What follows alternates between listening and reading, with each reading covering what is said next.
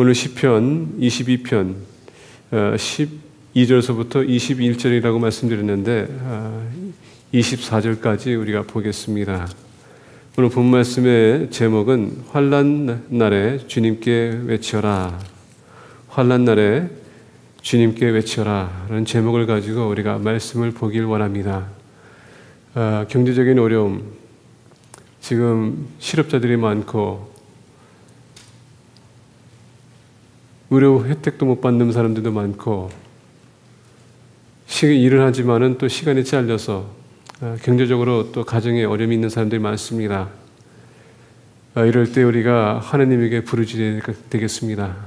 그분에게 우리의 아픔, 고통, 그분에게 우리가 외쳐야 되겠습니다. 그리고 그분의 위로를 우리가 받아야 될 필요가 있습니다.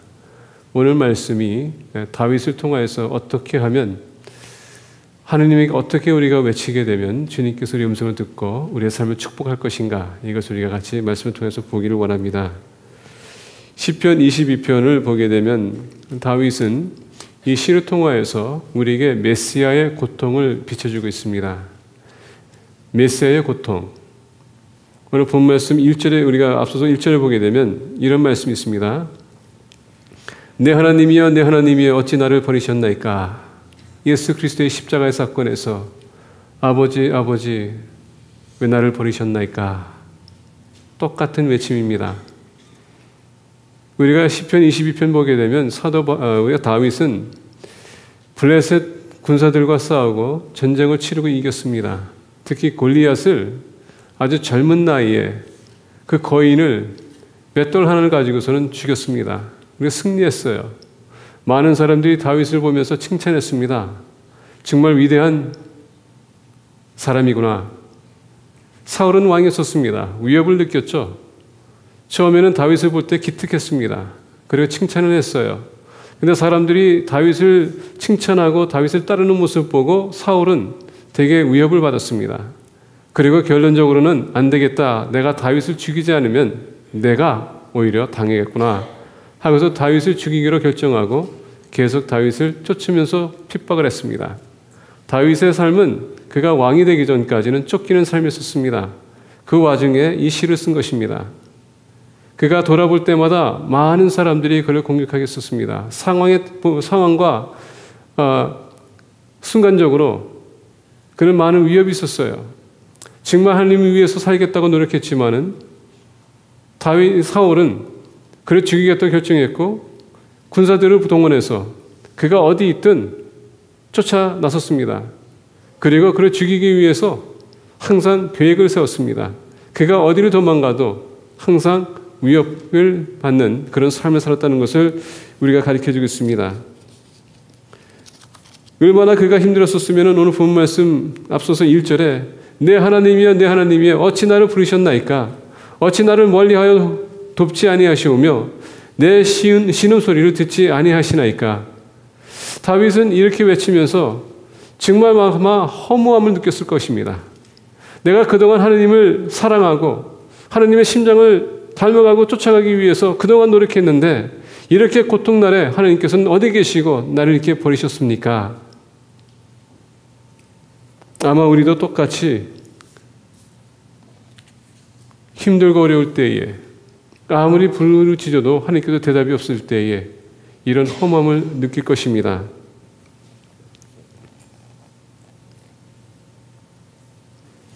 11절에 보니까 이렇게 얘기해요. 나를 멀리하지 마옵소서 환란이 가까우나 도울 자 없나이다. 아마 다윗은 그가 가장 두려워했던 피해자라고 우리가 볼 수가 있습니다. 두려움의 피해자는 뭐냐면은 하나님이 나를 버리면 어찌할까? 다윗이 지금 그런 마음을 갖고 있었다는 것입니다. 아무리 기도해도 핍박은 계속 오고 있고 아무리 부르짖어도 하느님의 음성은 들리지 않고 어찌 나를 버리셨나이까? 외로움. 그가 두렸던 것은 다른 것이 아닙니다. 하나님이 나를 버리면 어떠, 어찌할까? 근데 지금 그의 마음은 하나님이 그를 버렸다는 것을 느끼고 있었을 것입니다. 왜? 나를 멀리 하지 마옵소서. 나에게 들 떠나지 말라는 것입니다. 근데 마치 느끼는 것은 하나님이 떠나갔다는 것을 느낀 것입니다. 우리가 하나님 앞에 나와서 부르짖을 때에 하나님이 응답하지 않는다면 우리 똑같이 다윗과 똑같은 마음을 가졌을 거예요. 가질 것입니다. 하나님이 어디 계신가?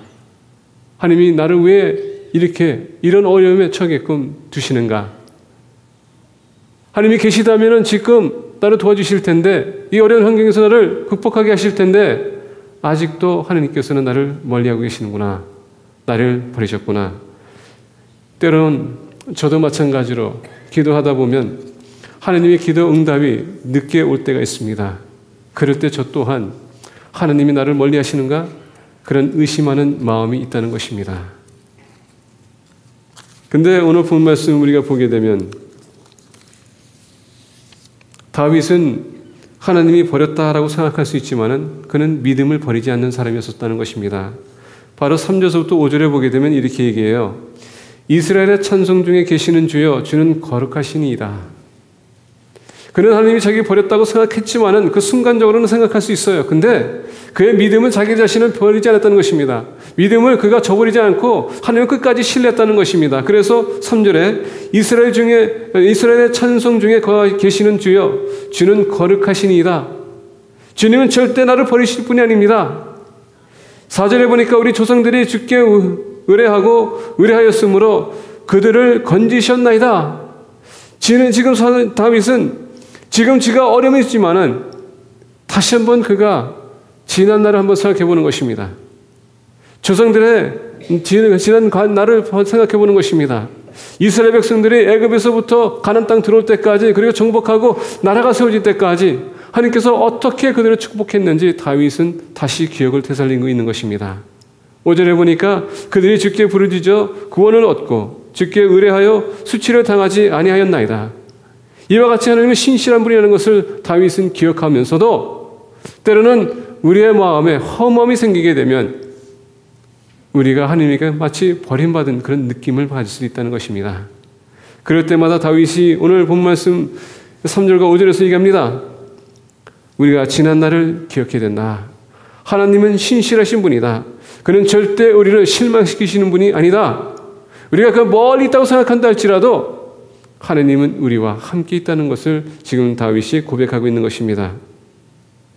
때로는 우리가 어렵고 힘들 때에 지금 허무할 때에 우리가 그 자리에 머무는 것이 아니라 지난 과거를 한번 생각해 보십시오.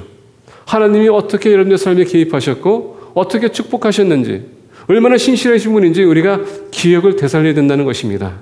그때마다 하나님께서 어떻게 역사하셨는지 지금도 하나님께서 역사하실 거라는 것을 우리는 그 생각으로 다시 한번 일어서게 되는 것입니다.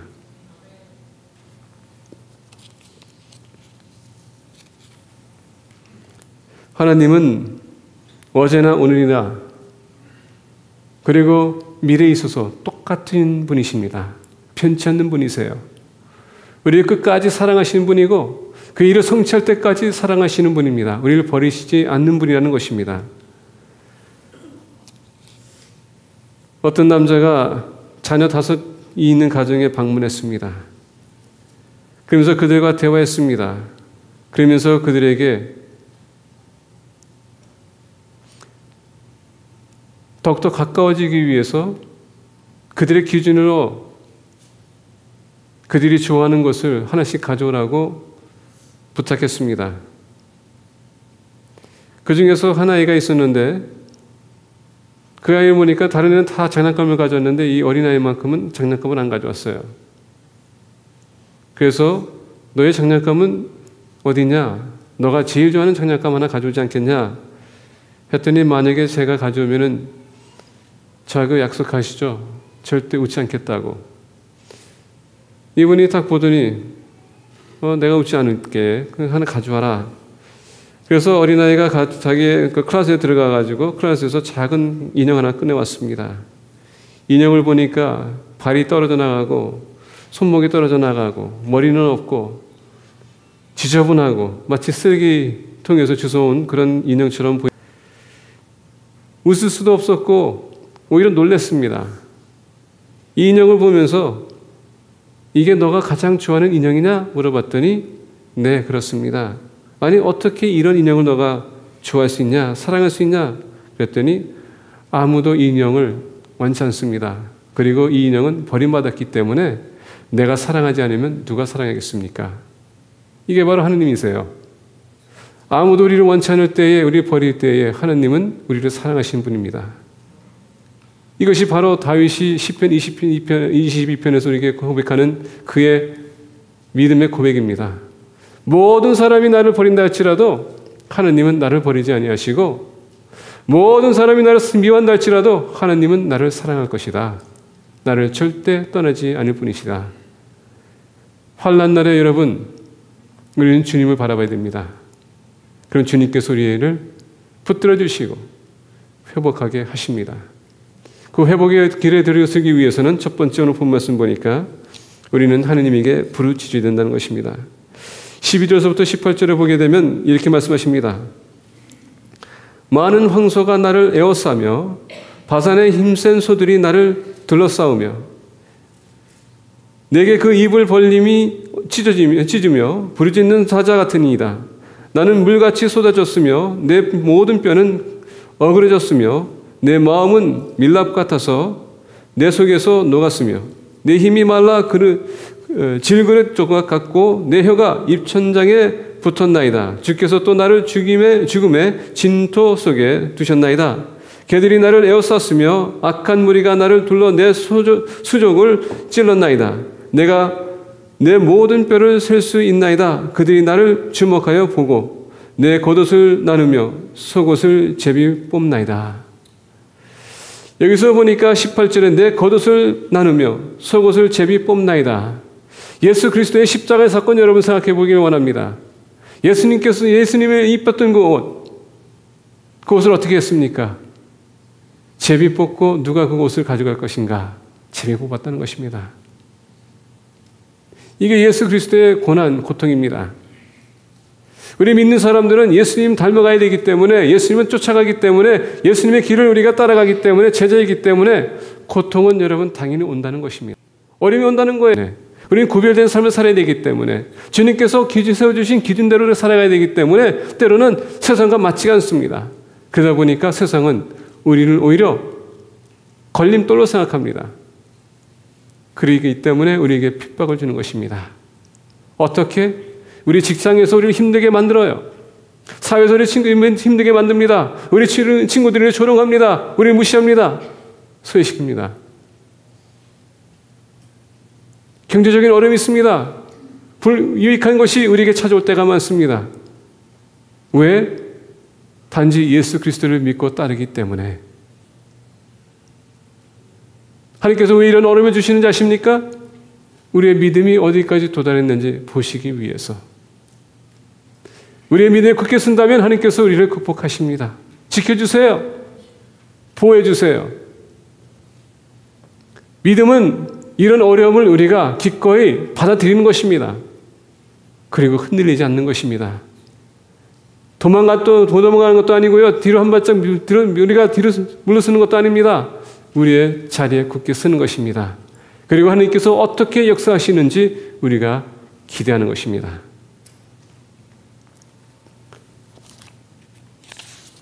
다윗은 그가 힘들고 어렵고 소외당하고 버림받았다고 생각할 때에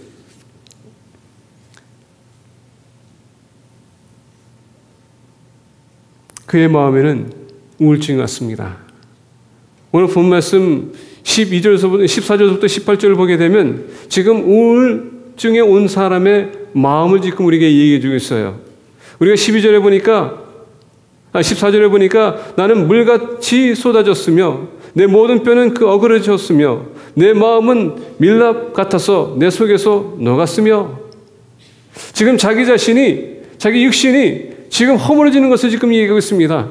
터무니없게 지금 무너지는 것을 보내고, 있습니다. 본인은 지금 어린 나이에 골리앗도 물리친 사람입니다.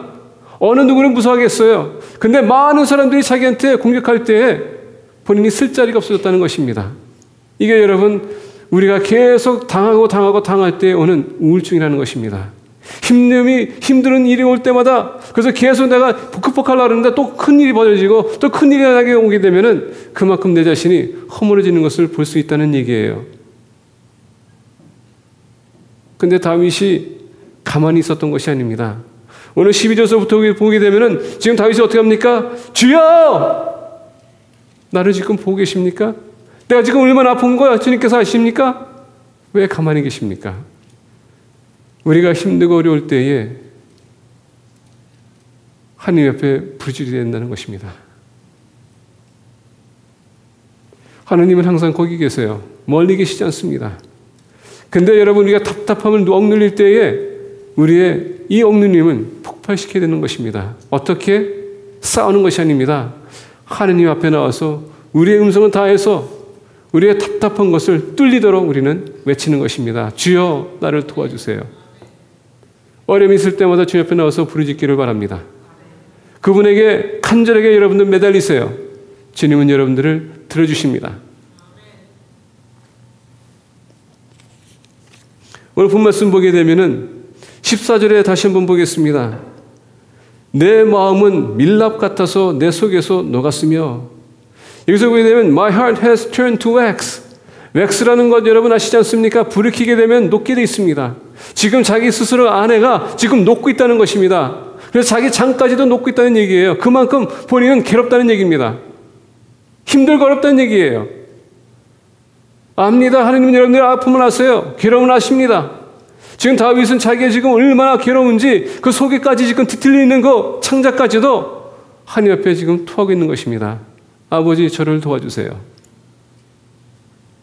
15절에 보니까 내 힘이 말라 질그릇 조각 같고 여기서 질그릇이라고 했었을 때 여러분 먼지를 두고 얘기하는 것입니다. 지금 속이 타고 있다는 얘기예요. 질그릇은 earthen vessel이라고 합니다. earthenware라고 합니다. 흙이라고 하지만은 dust라고 합니다. 여러분, 우리가 진흙을 그릇을 만들기 위해서 진흙을 피줘야 되는 거 아닙니까? 그리고서는 그 진흙을 불에다 집어내야 됩니다. 달궈야 됩니다. 이와 같이 지금 그 속이 타고 있다는 얘기예요. 얼마나 아프면은 내장이 뒤틀리는 것뿐만 아니라 지금 속이 지금 타고 있다는 것입니다. 속이 끓고 있다는 얘기예요. 아마 이런 얘기를 누구한테 얘기했다면 아마 당신 미친 사람 아니야? 라고까지 들을 정도로 지금 다윗은 자기 있는 것을 토해내고 있는 것입니다. 힘들 때는요, 우리가 할 게 없어요. 그냥 부르짖는 것입니다. 괜찮아요. 울어도 괜찮습니다. 통곡해도 괜찮아요. 부끄러운 것이 아닙니다. 왜? 하나님은 여러분들의 마음을 알고 계시기 때문에 개들이 나를 에워쌌으며 악한 무리가 나를 둘러 내 소족을 수족을 찔렀나이다. 짐승들까지도 이스라엘 백성뿐만 아니라 지금 개들도 했을 때 여러분 이방인들도 다윗 너 우리를 쫓아냈지 않았냐 이 가난 땅에서 봐라 하나님이 너를 버리지 않았느냐 우리 식구뿐만 아니라 바깥에 있는 사람도 우리를 공격할 때가 많다는 것입니다. 얼마나 수치스러운 일입니까? 그럼에도 불구하고 다윗은 절대 포기하지 않습니다. 많은 사람들은 이런 고통과 아픔, 우울증이 올 때에 많은 사람들에게 달려갑니다. 아니면 세상의 방법을 동원해서 극복하길 원합니다. 우리는 의사를 찾아가서 약도 먹어요. 어떤 사람들은 이런 소외당감 때문에 이런 아픔 때문에 허무함 때문에 뭔가를 그 마음을 채우기 위해서 우리는 세상 방법을 구할 때가 많습니다. 때로는 어카홀로 인하여서 우리 자신을 위로하려고 합니다. 그래서 중독이 되죠. 마약을 사용하는 사람도 있습니다. 한순간의 그 즐거움, 쾌락, 그러지만 그것도 중독이 되다 보면 계속 우리의 몸을 망가뜨리는 거고 우리 영혼까지도 망가뜨리는 것입니다. 어떤 사람들은요, 그냥 성관계를 즐기려고 합니다. 그래서 어떻게든 자기 허물을 채우기 위해서 이 사람 저 사람 경험해보고 그럼에도 불구하고 마치 소마리 여인처럼 만족을 못 느끼는 그럼에도 불구하고 거기에 대한 성에 중독이 됩니다. 어떤 사람들은 아내와 문제 때문에 그것을 다른 남자와 다른 여자와 가능까지 하면서 혹시나 이것으로 인해서 내가 이 어려움, 이런 아픔, 허무함을 채울 수 있을까?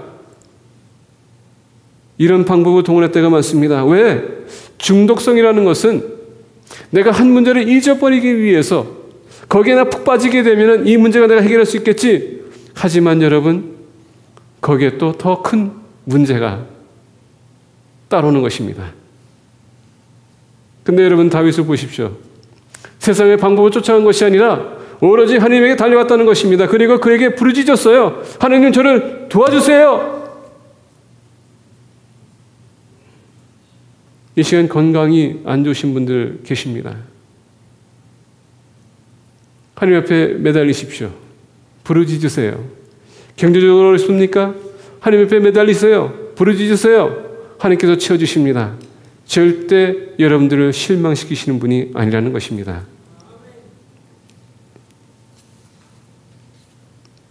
오늘 본 말씀 우리에게 비춰주는 것은 중요한 진리가 있는데 많은 사람들은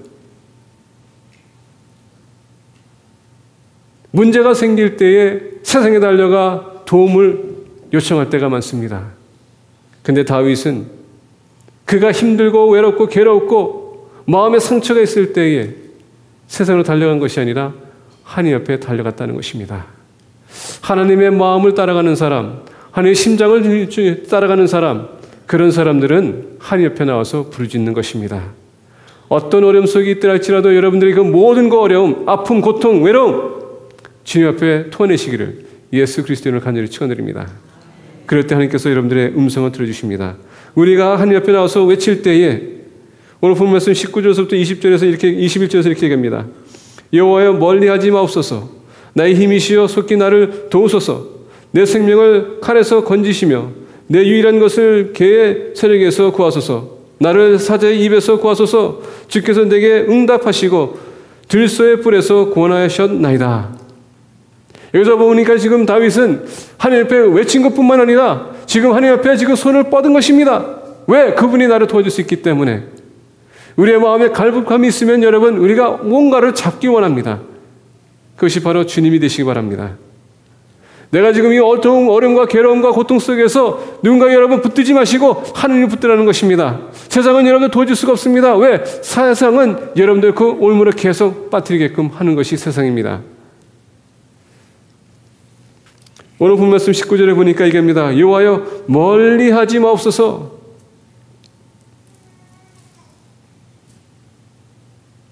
하나님 멀리 계신 것이 아닙니다. 근데 우리가 우울하게 되면은 마치 하나님 멀리 계신 것을 우리가 생각할 때가 많습니다.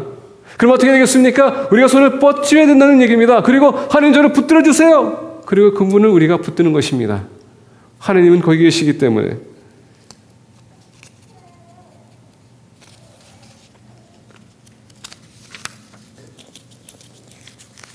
그러면서 10, 21절에 다윗이 얘기합니다. 나를 사제의 입에서 구하소서. 주께서 내게 응답하시고 들소의 뿔에서 구원하셨나이다. 여기서 보니까 구원하셨나이다. 과거입니다. 우리가 손을 뻗치게 되면 하나님께서 우리 손을 붙들어 주신다는 얘기입니다. 다시 얘기한다면 그 어려움에서 그 환란 속에서 고통 속에서 외로움 속에서 허무하면서 우리를 구원해 주신다는 것입니다. 하나님은 그런 분이세요. 그에게 손을 내미는 사람들의 손을 외면하시는 분이 아니라는 얘기입니다. 그냥 붙들어 주세요. 그래, 너가 나의 도움이 필요하는구나. 내가 너에게 다가겠노라.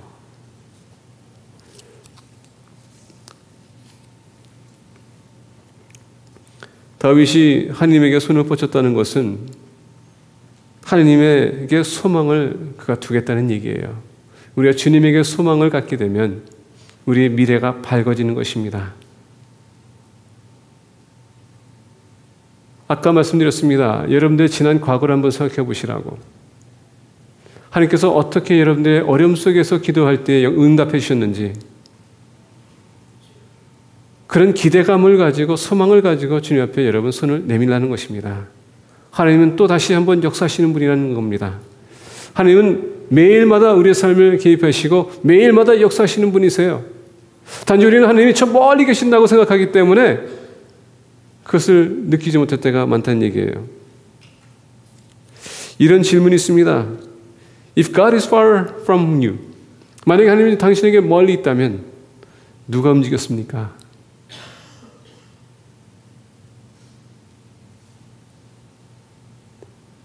만약에 하나님이 나에게 멀리 있다고 생각한다면 누가 움직인 겁니까? 여기에 질문은 여러분 아십니다. 하나님 우리 버리신 겁니까? 아니면은 우리가 느끼기에 하나님 우리 멀리 떠났다고 생각하는 것입니까? 10편 23편 보게 되면 그 다음 시에 하나님은 우리가 은심한 골짜기에 다닐지라도 우리 지키신 분이라고 했습니다. 내가 지금 주님께 멀리 떠난 것이지 주님이 우리 멀리 떠나는 것이 아니라는 것입니다. 단지 우리 느낌이 주님 멀리인 것처럼 느끼기 때문에 하나님 멀리 있다고 우리가 생각할 때가 많습니다. 그 생각을 바꾸시길 바랍니다. 하나님 멀리 계신 분이 아니에요. 우리와 함께 계십니다. 우리가 지금 힘들어하는 건 알고 계십니다. 같이 힘들어하세요.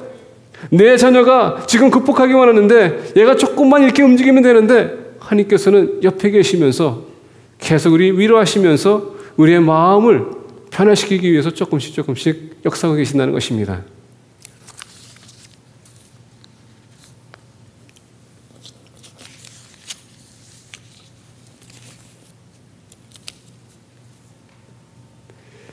다윗의 믿음은 흔들리지 않았습니다. 다윗은 전적으로 하느님 앞에 자기 자신을 맡겼다는 것을 알고 있었습니다. 그래서 그는 고백할 수 있었어요. 내가 주님에게 손을 뻗칩니다. 저를 붙들어 주세요. 그가 흔들리고 그가 힘들고 어렵고 허무함을 느꼈지만은 그의 믿음만큼은 그가 확실했다는 것입니다. 그리고 그가 누구를 믿었다는 것을 확실했습니다. 왜? 오늘 본 말씀 보니까 여호와여. 그 누구를 믿는지 알고 있었어요. 여호와여. 위에서 모든 것을 창조하신 하나님, 우리 인도하시는 하나님, 전지전능하신 하나님, 그분이 나와 함께 하신다는 것을 그가 알고 있었고요. 그분을 믿고 있었다는 것입니다. 그렇기 때문에 심지어 이 어려움도 내가 통과하리라. 왜? 하느님이 나와 함께 하시기 때문에 지금 나의 손을 붙들고 지금 가고 계십니다. 주님여 내 손을 꼭 잡고 가소서.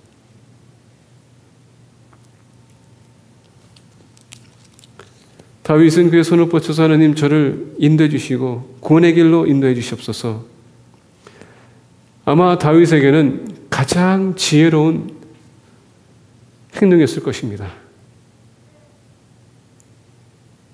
손을 뻗치고 여러분 주님 옆에 나가는 것, 끌림 받는 것 아마 가장 지혜로운 행동이었을 거예요.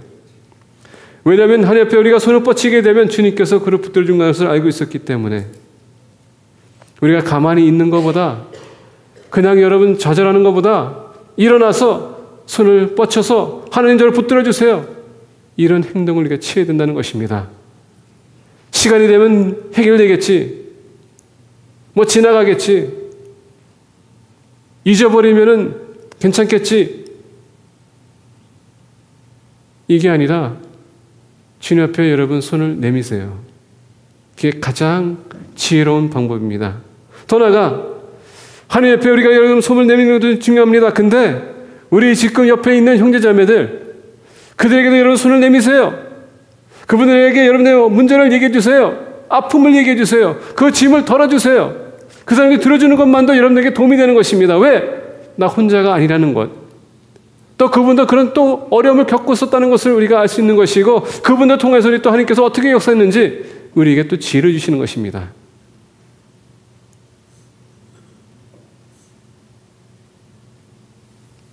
우리 옆에 분에게 말씀하시기 바랍니다. 내 어깨에다가 기대세요. 예. 예, 비든 좀 털고, 비든 좀 털고. 예. 우리가 우리 주변에 있는 분들, 하나님께서 우리의 동역자로 세워주신 것입니다. 우리 어려움을 들어줄 수 있도록 하나님께서 믿음의 공동체를 세워주신 거예요. 그들이 모든 문제를 해결해 줄 수는 없습니다. 근데 한 가지 혹 두 가지 또는 세 가지 문제는 해결해 줄 수 있어요. 왜? 그들도 그런 어려움을 느꼈기 때문에 알기 때문에 그리고 그들도 극복했기 때문에 주님의 은혜를 입었기 때문에 도와줄 수 있다는 것입니다. 경험한 사람만이 우리의 도움이 될 수 있어요.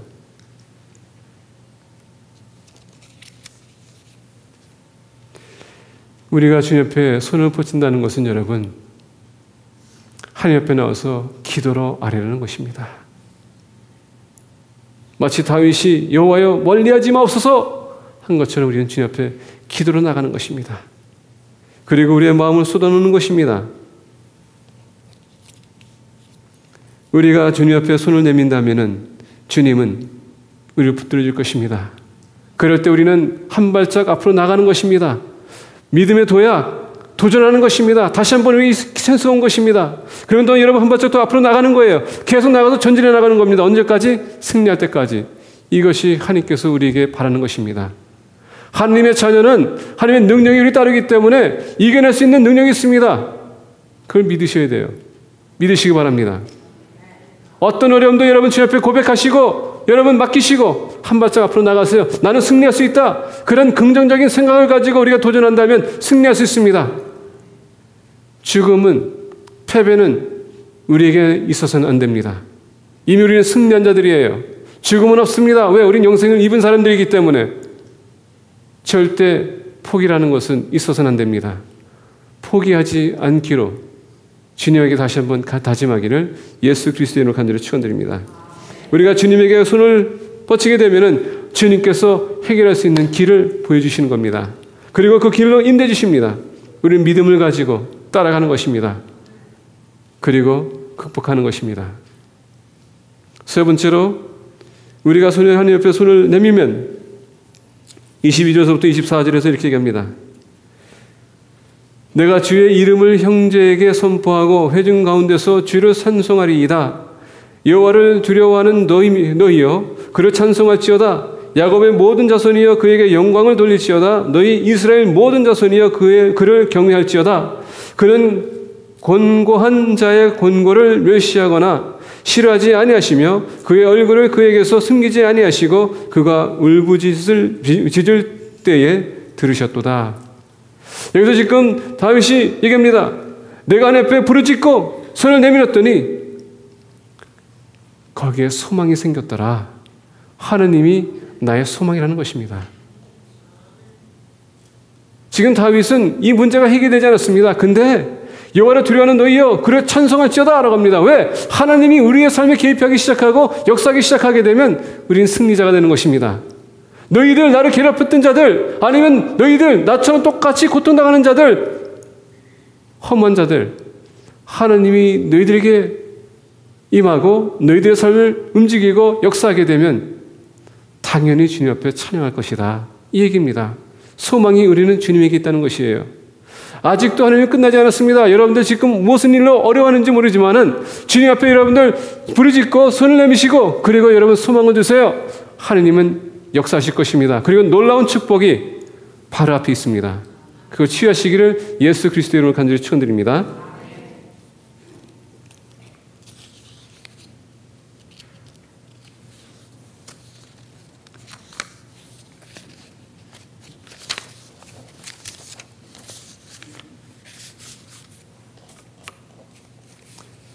우리 예수님께서는 외로움과 외로움을 잘 하셨습니다.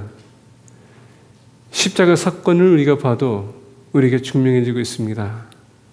십자가 사건 전에 가장 신뢰했던 열두 제자 한 명은 배반하고 열한 명은 도망갔습니다.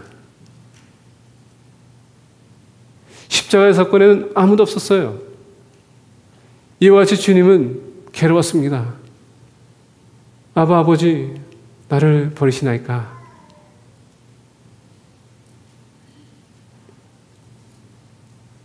(100% 하나님이 사람이 있었기 때문에 심지어 예수님도 그 허무함을 알았다는 것입니다.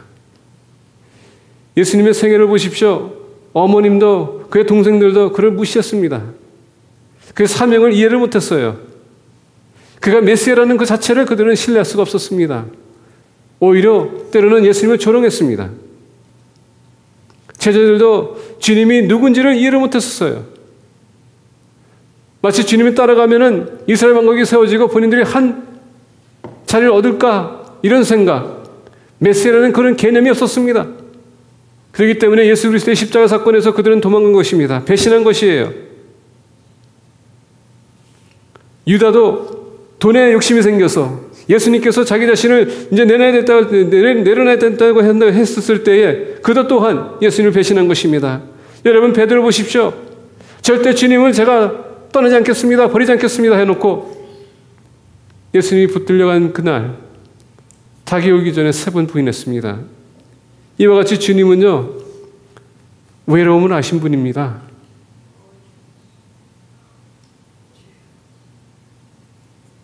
왜냐하면 사람들은 쉽게 배신하기 때문에, 배반하기 때문에, 돌아서기 때문에.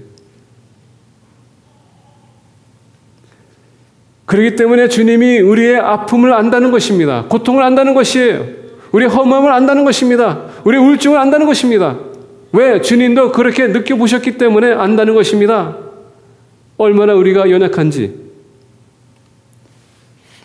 근데 여러분, 우리가 소망이 있다면 그 소망이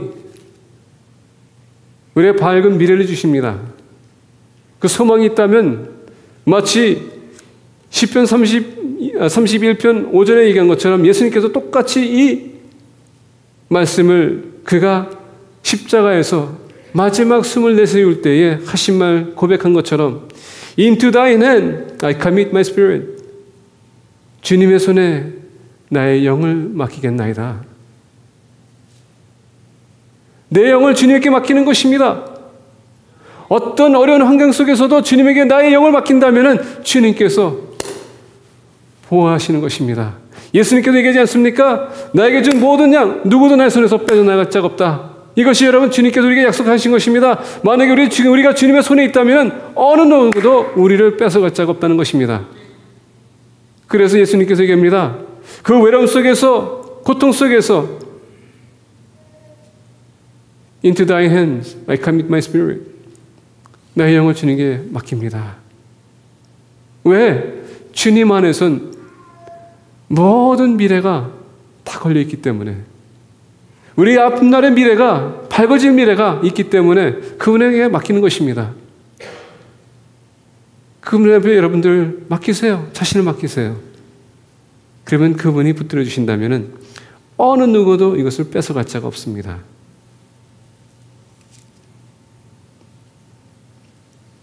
그렇기 때문에 여러분들에게 간절하게 부탁드립니다.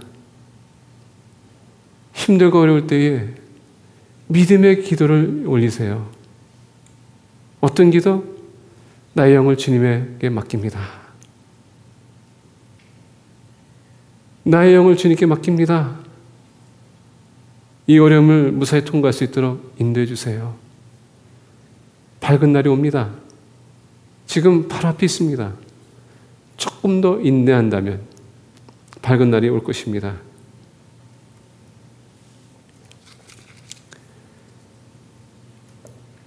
하나님은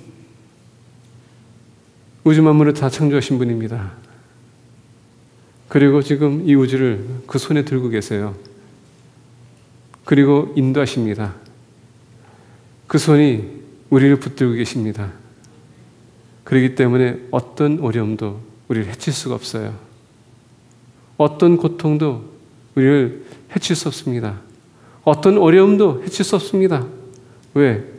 이 우주를 주관하고 계신 하나님께서 우리의 삶을 주관하고 계시기 때문에 여러분들에게 어려운 문제를 주님 앞에 내놓으시기 바랍니다.